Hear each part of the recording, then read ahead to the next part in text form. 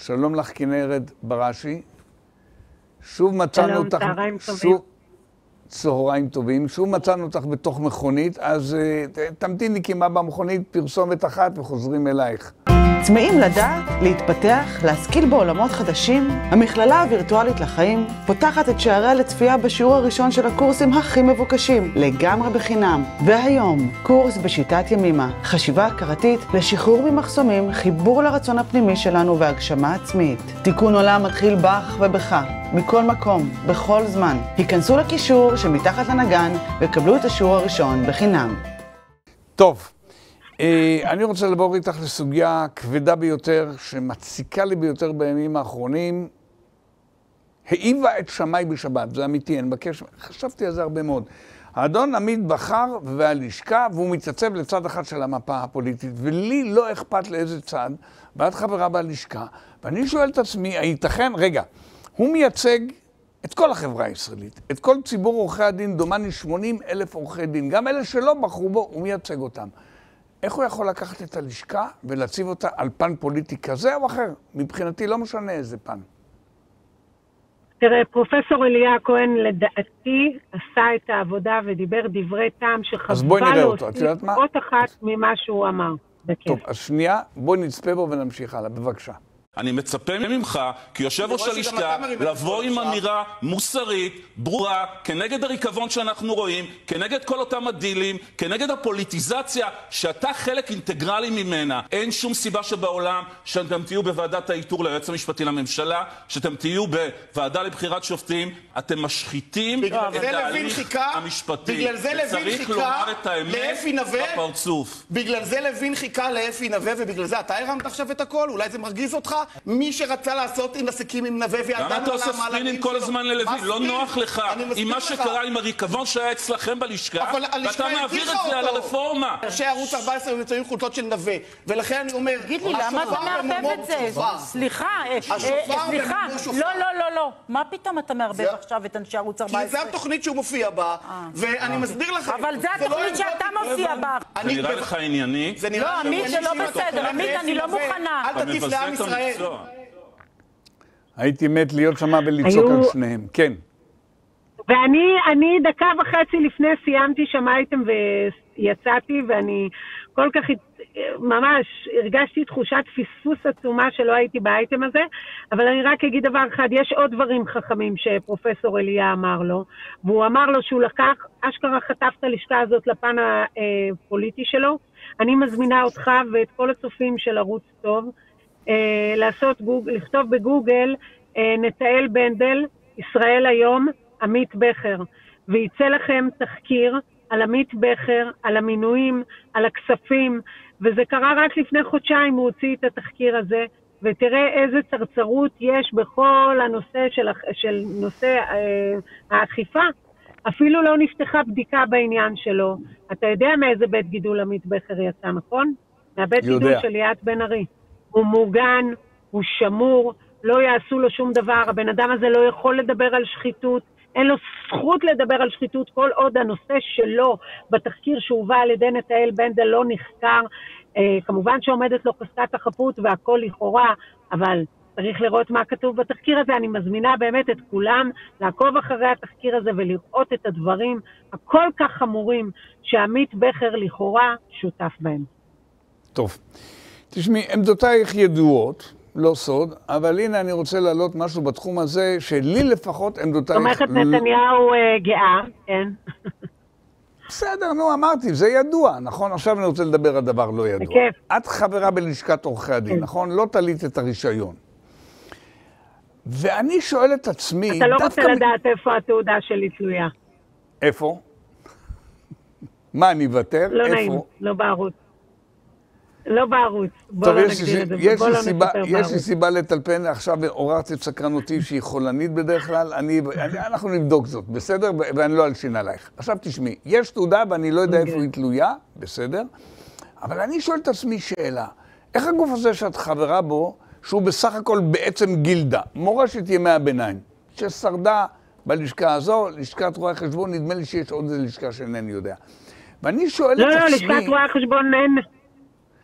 אין חובה, נכון, לא נכון, אין חובה. אין חובה. נכון, הוא לא סטטוטורי, אבל זה גם סוג של ארגון כזה, נכון. בסדר, נכון, הוא לא סטטוטורי. אבל הם לא פוליטיים, תראה, מאחר והם לא סטטוטוריים, ומאחר ואין את הדבר הזה, אתה לא שומע אותם בהתבטאויות פוליטיות.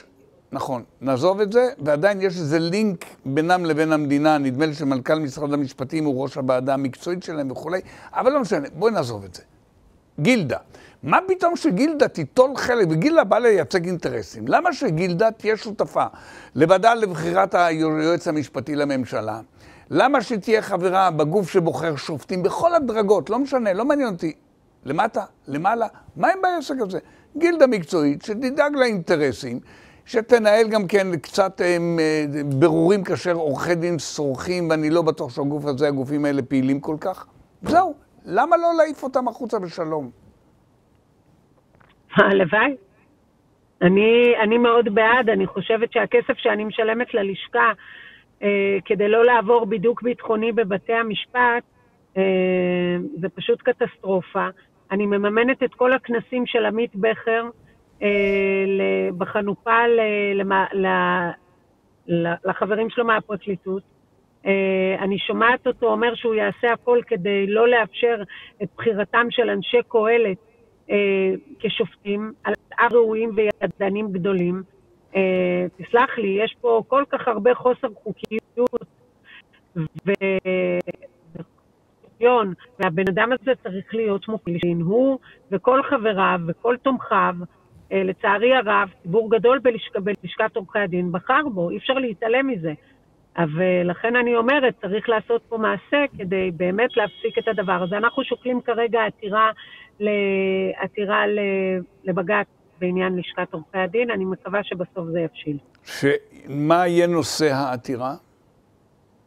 נושא העתירה, עמית בכר התראיין והודה שהוא הולך להשפיע, למרות שאסור לו, על הוועדה לבחירת שופטים, למדר אנשים ראויים ומקצועיים בשל הדעות הפוליטיות שלהם. זה מעשה לא חוקי.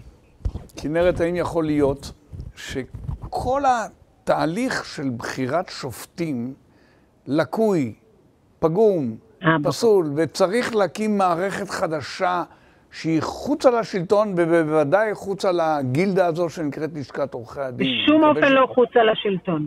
למה? לא חוצה לשלטון. למה? ככה, כי נבחר, כמו בארצות הברית, נבחרי הציבור צריכים לבחור את השופטים בכפוף לוועדה מקצועית. שופטי בית המשפט העליון לא יקבעו, לא יקבעו מי הם החברים בתוך הארגון הזה.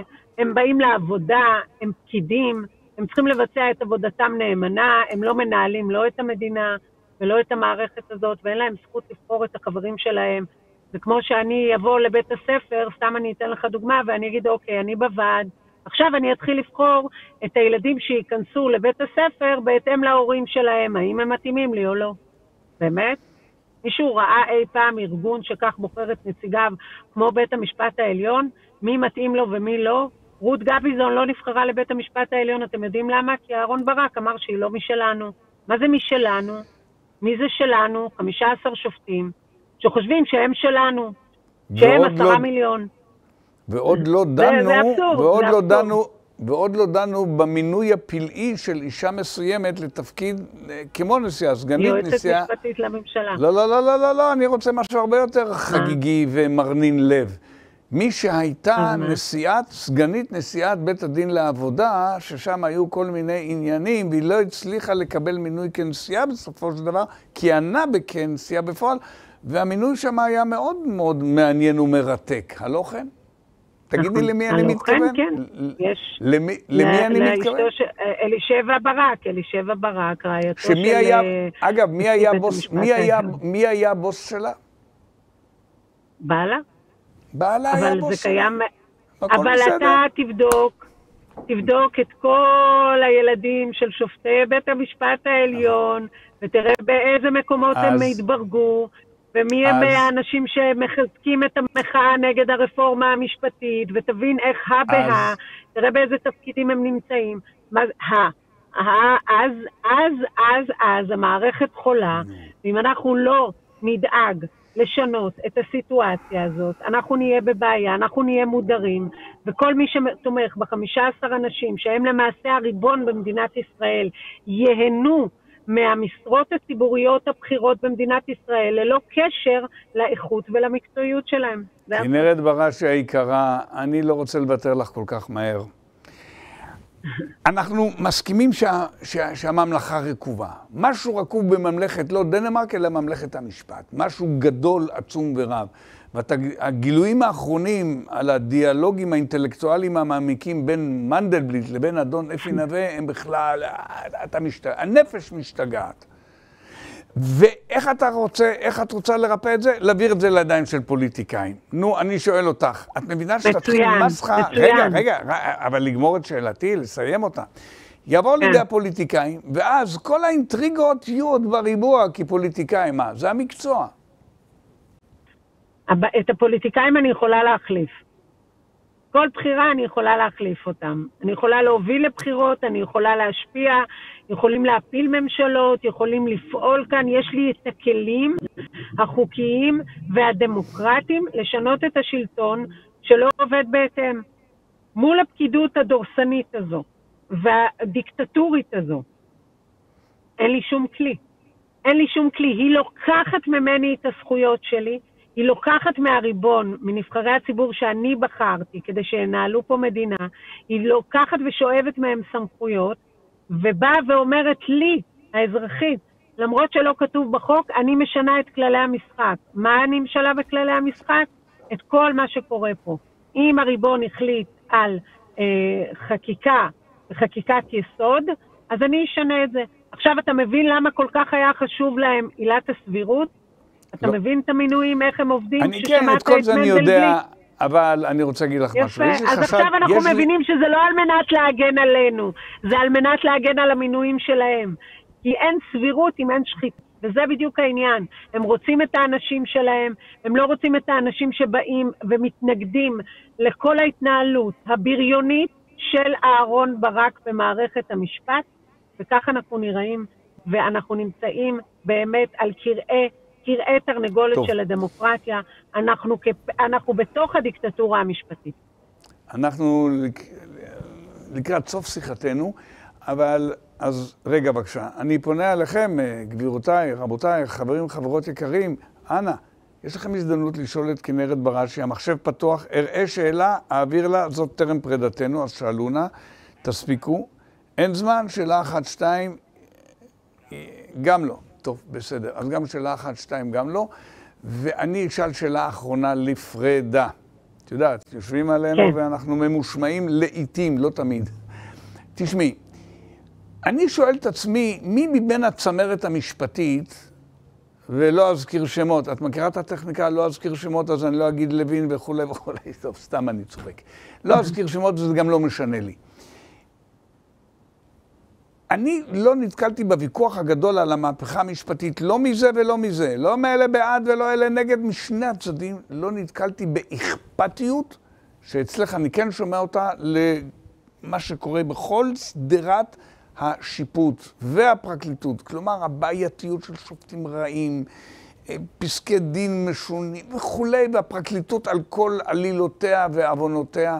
לא שמעתי שום רצון לתקן את זה בכלל. העליון וזהו זה. את, בבקשה, והנה יש שאלה אחת, אני מקווה שענת תרשה. כן, אני איתך. אני חושבת כן שיש פה באמת איזשהו, איזשהו באג שהתעסקו באמת רק בבית המשפט העליון. אני חושבת בכלל שאת הרפורמה היו צריכים להתחיל בפרקליטות ובמערכת אכיפת החוק. נכון.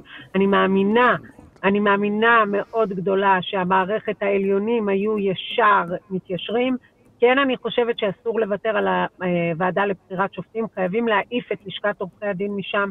אחוזם באוכלוסייה הוא כל כך קט- קטן, שלא יכול להיות שהם אלה שיבואו וינהלו עבורנו את השופטים. יש פה עשרה מיליון אזרחים במדינת ישראל, שיש להם את הזכות לבחור, והם בחרו את הפוליטיקאים, והם בחרו את הממשלה, והיא זו שצריכה להוביל יחד עם הכנסת, אני לא אומרת בלי, אני כן חושבת שצריכים להיות נציגי אופוזיציה וקואליציה, אבל הקואליציה צריכה להיות יותר חזקה, ככה זה עובד, ו, אה, ובנוסף אנחנו גם צריכים אה, להבין דבר אחד, שופטים חייבים לעבור שימוע.